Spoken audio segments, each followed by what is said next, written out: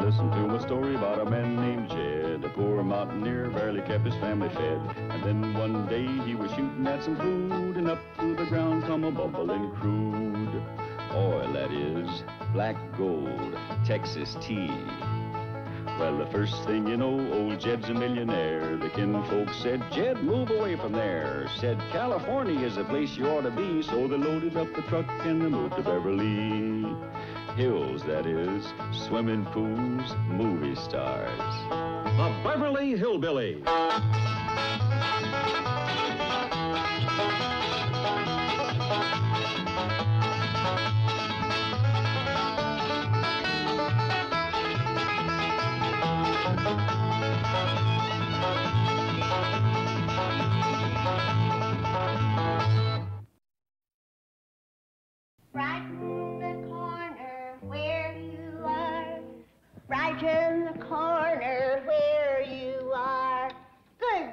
Morning, honey. It's a beautiful day to be alive? Uh, oh, I forgot. You ain't. You're a pretty thing.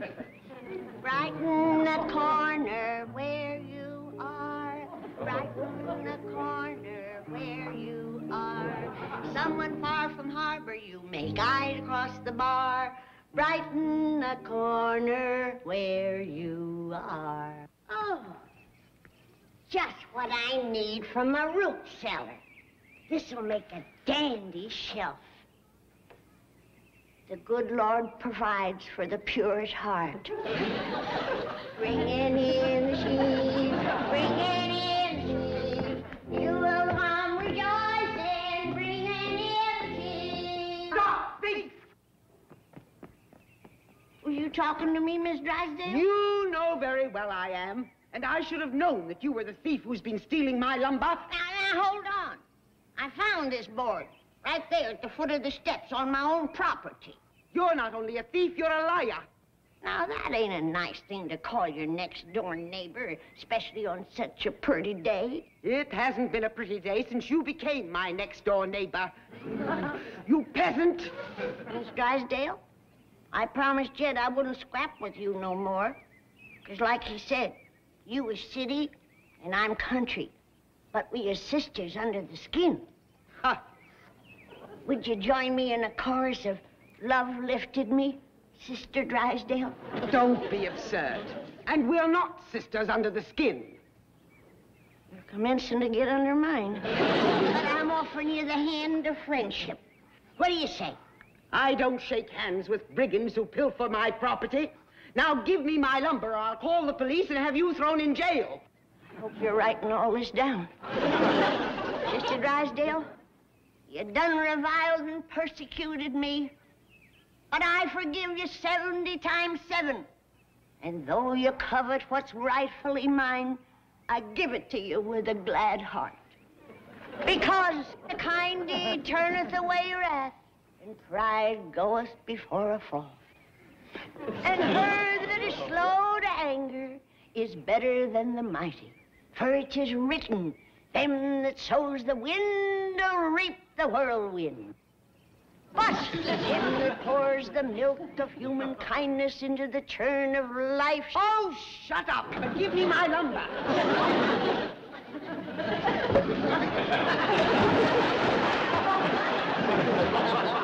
There it is, Pa. Oh, so you've been cooking again, have you? Yes, sir. Special just for you. Well, would you look at that?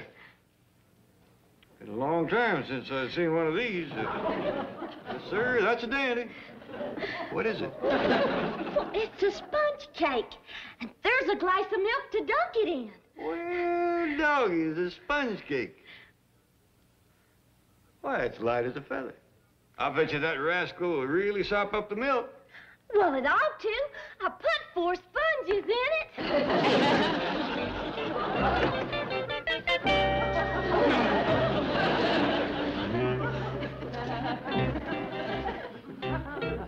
Granny, what happened? Did you fall in the pond?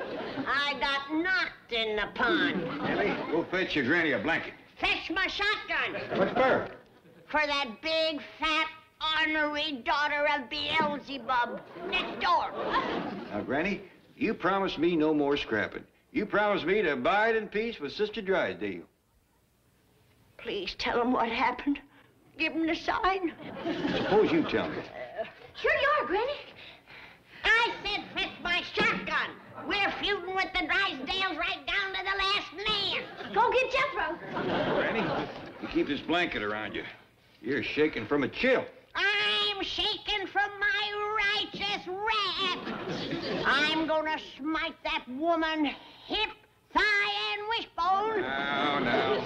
Her family in the third and fourth generation will know the fury of my vengeance. Granny, why don't you offer Sister Drysdale the olive branch of peace? I offered her the olive branch, and she give me six foot of lumber. I don't care if it was an accident. Now, you go over there and apologize to Granny. Apologize? I should call the police and demand an arrest. I'm not asking you to go to jail. Just apologize. Her arrest. She stole my lumber. When are you going to stop siding with those hillbillies against me? When you deposit $67 million in my bank. That's only money. I'm your wife, your mate. For 27 years, I've shared your bed and board. Please, not while I'm eating. oh, now, now, Margaret. This whole thing is just a tempest in a teapot. Let Granny have the wood. What's a few lousy pieces of lumber? They happen to be specially cut redwood planks to frame in my new dahlia beds. I'm determined to win first prize this year. Okay, okay. But promise, no more fighting with Granny. All right, if she leaves me alone, I'll leave her alone. Fair enough. Well, good luck with your dahlia, dear. Oh, I'm not depending on luck. I've engaged an expert to help Oh, me. fine. I hope he's just great. Uh, He should be. He charges a hundred dollars a day. $100 a day? Yeah, he's an expert. Yeah, so is Jesse James. Milburn, he has to recondition our soil. It's too acid. Give it a shot of bicarbonate. Now, if you think for one moment I'm going to pay... Excuse me. Oh, come in, Miss Hathaway. Did you bring Mr. Ted? Indeed I did. Who's Mr. Ted? He's the dahlia expert, dear. Do tell him. I'm paying a hundred bucks a day to some hothouse rosebud named Mr. Ted. Keep your voice down, Chief. Mr. Ted is very temperamental. Oh, really? What's he gonna do, hit me with his purse? Listen. You listen, both of you. Oh, hello, Mr. Ted. Do come right in. So you're the... Mr. Ted? Oh, this is a real honor. I'm her wife, uh, husband. I'm glad to meet you. Yes, uh, Mrs. Drysdale, I would very much like to begin preparing the soil for your dahlia beds, uh, if you don't mind. That's fine, Mr. Ted. Now, I've brought along some humus and some bone meal. Well, if you need any extra bone meal, I've got it. Jethro? You seen your granny around?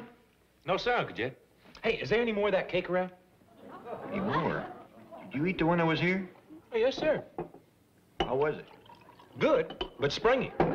When I bit into it, it kind of fought back. Funny thing about that cake, it was light as a feather going down, but the more milk I drink, the heavier it sits.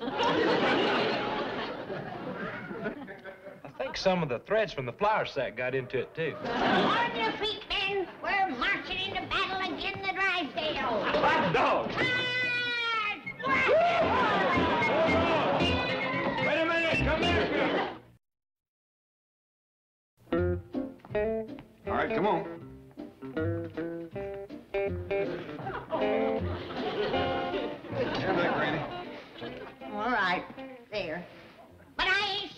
Surrendering my sword. It was my grandpappy. Oh, okay. Well, Pa ain't gonna feud to Drysdale? No, Elly, we ain't. Oh, shucks, Uncle Jed. We was just gonna capture him and fetch him back here. Now, why would we want to do that? Have you seen their new upstairs maid? Now, listen, all of you. I know that Granny and Mrs. Drysdale has had a little run-in. Run in. Why, I was mean-mouthed, bored, whomped, and pond-ducked. I called her sister, She called me thief and liar. I cast my bread upon the waters, and she throwed me in after it. Let's go feud. Yeah, well, hold on, hold on. Jed, we would have feuded for much less back in the hills. We ain't back in the hills. You gotta remember that city folks like Miss Drysdale is much more loose with their talk. And somebody ought to button her lip.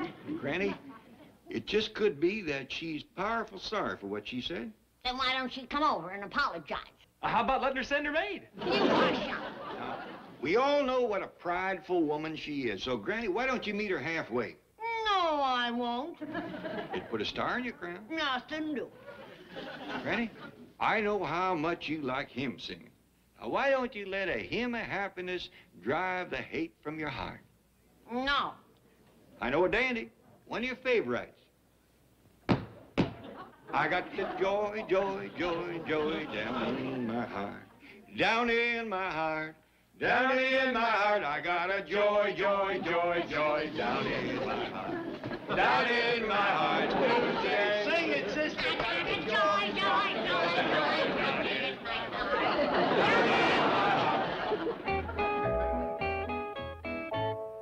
Ten bucks a piece for dahlia bulbs? Darling, these are new and original varieties. We're going to put a different variety in each bed. At these prices, we should put them in my vault. I'm to have the honor of naming them. Oh, how exciting. Isn't it? I've decided to name one for Daddy, one for Sonny, one for myself, and the fourth for the wonderful man that made all this possible. Oh, really? Yes, Mr. Ted. Excuse Chief, you're wanted on the telephone. Now, since I'm paying Mr. Wonderful a hundred bucks a day, suppose you get him busy. We're ready for the groundbreaking ceremonies, Mr. Ted. Groundbreaking. I'm the one he's breaking. Uh, Mrs. Drysdale, I'm terribly sorry, but my shovel has disappeared. Well, that's strange. It was right there beside those redwood planks. Wait a minute. I think I know where it might be. I'm coming to meet you halfway. My heart is full of love and forgiveness. Ah, that Jethro. Always leaving tools strewn about. But I ain't gonna let it upset me. Cause I got joy, joy, joy, joy down in my heart.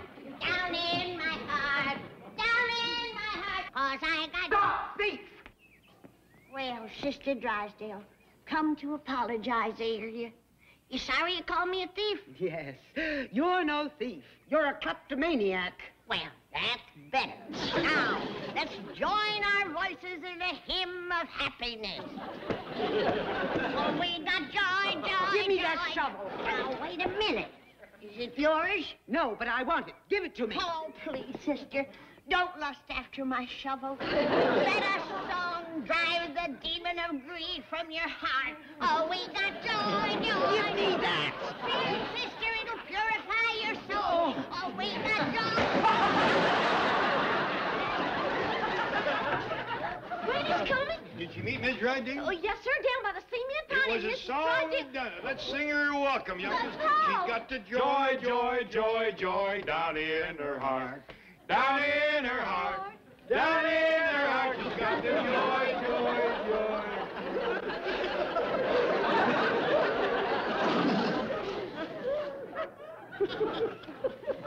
Granny, what happened? I got thrown in the water again. Did you sing to her? Joy, joy, joy, joy. She still throwed you in? Right in the middle of the fourth joy. Maybe you were singing flat.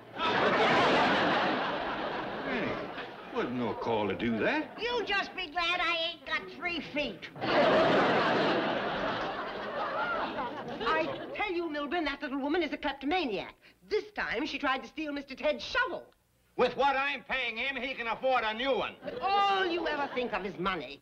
Can't you understand that compared to the social graces, money is nothing?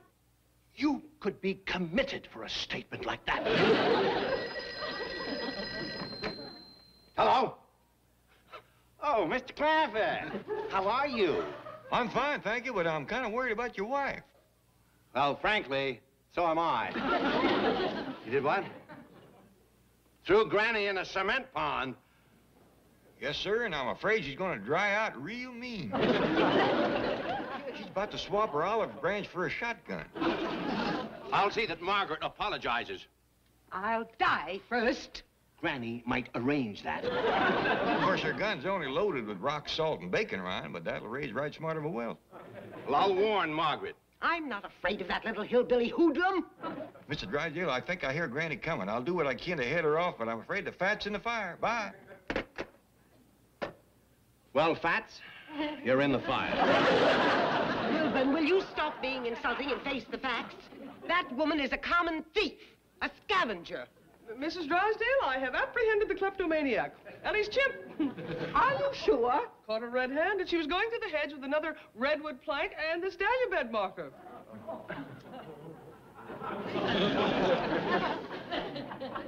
Good work, Margaret. You confused Granny with his monkey. Now, are you going to apologize? Yes. I'm sorry, dear. Funny. Now you get over there and tell Granny you're sorry. I shall never humble myself before that vicious little harpy. Never. I ought to put her across my knee and... What's this silly thing? It's a marker for one of the four dahlia beds. Daddy? Yes, she's naming that particular variety after her father. Oh, yes. Now, wait a minute. I've got an idea that just might appease Granny. She loves flowers. Margaret! Out of my way. I'm gonna salt her hide and nail it to the barn door. Oh, Granny. Join me in a chorus, uh, Love Lifted Me. No more psalms, no more hymns. I raised my voice and she lowered the boom. I walked beside the still waters and she thrown me in. That poor city woman don't know nothing about feuding. She's about to get some on-the-job training.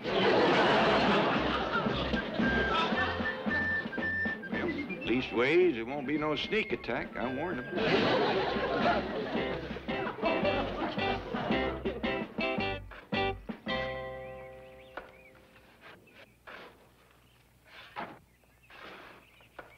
I hear you digging in there, but trenches ain't gonna save you. I'm gonna count to three and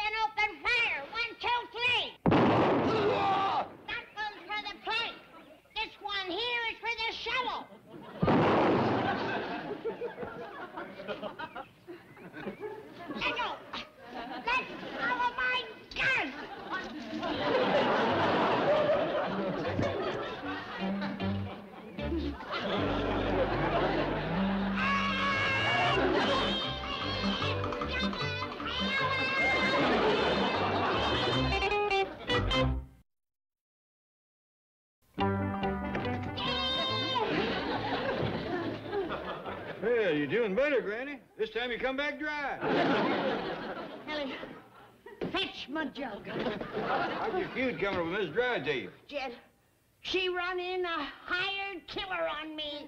Hired killer? I tell you, Jed, he's a giant, a Goliath. He stands nine or ten foot tall and has the strength of 40 mules. He grabbed my shotgun and bent it double. You don't need no more of that. I ain't touched a drop. Elly, fetch Jethro and the rest of the guns. I need help. Now, hold on. You told us to stay out of this. You said this was tricks you and Miss Drysdale. That was before she run that Philistine in on me. I tell you, Jed, he's a Goliath. I'll fetch my slingshot. Shot. Even my shotgun didn't stop him. I tell you, Jed, he's so big that he can't walk through that door. Well, then stay in the house. You got nothing to worry about. How's the feud going, Granny? Jethro, I need you. Fetch your gun and come with me. Yes, ma'am. Never mind the gun, boy. Oh, yeah, that's right, Granny. I'd rather fight that upstairs maid hand to hand. Fighting, you got some eating to do. Well, hot dog. There's one thing I like better than fighting. It's eating. You may have to do a little of both. Huh? Uh, Well, where are we going? This here is parlor eating, boy. Don't leave me here to fight that giant alone. It's all right, Granny. Here's my slingshot. Elly, I'm a scrapper, but I ain't no David. That goomer is a good 12 foot tall. Show him to me. Oh, no, Elly. I wouldn't go near him alone without the whole clan around me. And Jeb Stuart's cavalry. Granny, you're gonna spill that? Yeah, honey. You pour it for me. I don't want it to eat through the table. Thank you. I don't blame you for trembling, Granny. A fellow 12 foot tall would scare anybody. Well, maybe he ain't 12 foot.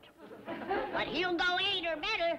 Well, that's still big enough to scare you. Of course, maybe eight is stretching it a mite. But he's a good six feet and strong as an ox.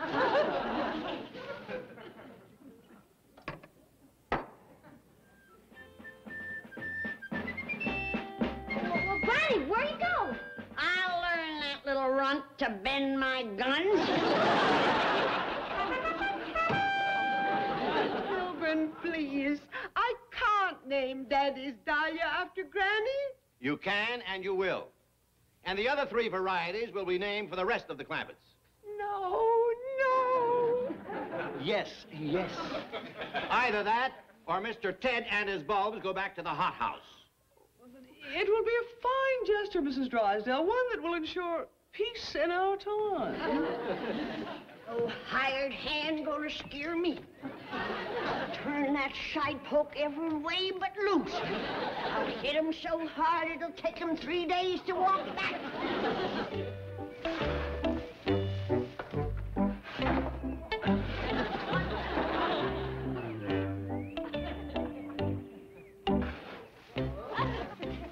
He's digging graves. Four of them.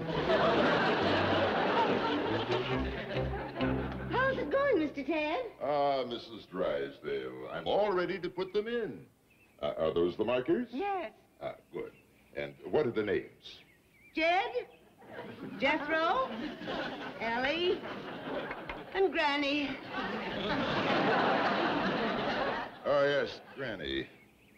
Is she the little old lady who shot at me? Yes. We'll put her right here. Would you like to help plant them? May I? Of course. But remember, they must be buried with the eyes up. Sure, you want to do this, Mrs. Drysdale? I'm afraid it's the only way to end the feud.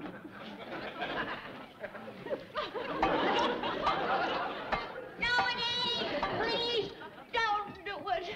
Not to sweet little innocent Elly May and Jethro. Nor Jed neither. He ain't to blame. He tried to talk me out of it, but I wouldn't listen to him. I'm to blame. Take me and spare the others. Throw the dirt on me. Ready to pay for my sins. One last request. Me a mite deeper. I don't want the chickens scratching me up. What's going on out here? It's all right, Mr. Drysdale. I'm crossing over Jordan with a song on my lips. I got a joy, joy, joy, joy down in my heart. Get her out of there, yes. I'm willing to. Drysdale, if you just fill in them other graves. Hey! Those are flower beds. Oh, Mrs. Drysdale and Mr. Ted are going to plant dahlias here. You wouldn't josh a poor old corpse, would you? Oh, Granny, Granny, don't be you ridiculous. Granny, you all right? Hey, did you whip the Drysdale? And big old go line? I done better than whoop 'em. I showed 'em the light. Put their feet on the paths of peace. They has done beat their swords into plowshares and planting flowers in my honor. Come in, you peace-loving dahlia diggers, and come in and sing them. Joy, joy, joy, joy, down in my heart.